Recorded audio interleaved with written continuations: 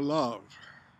Fellow travelers search for it in all the forbidden corners of the world and are never the wiser but for a taste of it, congealing in water droplets upon the ripe flesh of apples swelling in their growth and trembling in the blushing morn of the chill wind.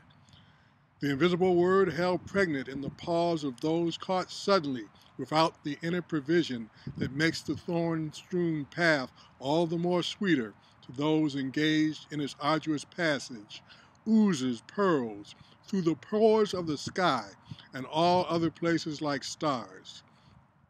The ache that no medicine prepared from the herbs of the field can soothe is within us still and can only abate upon our decision to dwell somehow within the warmth left in the last spot by the person dwelling there before she arose to answer the calling of her heart.